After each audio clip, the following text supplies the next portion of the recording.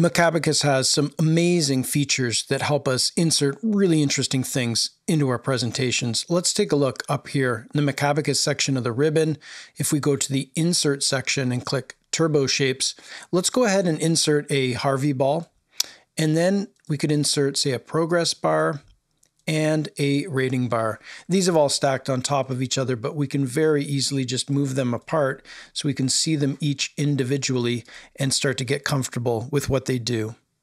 Let's start by taking a look at this progress bar. If we click into it, we can see we have a little slider on the left-hand side where we can set the progress to say 75%.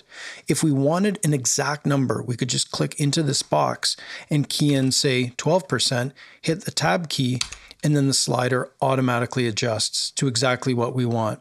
Using this little change cycle, if we click on it, we can change the look of the progress bar. Same thing would go for this Harvey ball over here. Let's take a look at that one as well. For the Harvey ball, we could click on it and again adjust the slider if we like in 25% increments, or go in here if we're interested in setting an exact number. We can also use the change cycle here to go through different interesting formats for the Harvey ball. If we look at the rating bar over here, we're going to find that it has some interesting different features. We could click in it, and of course we could change the individual rating, but we can also take the scale up beyond 5, say to 10.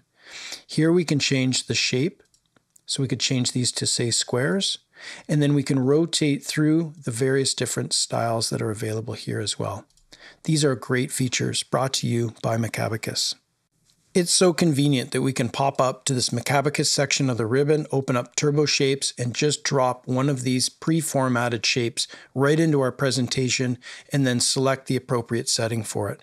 What a great convenience this is.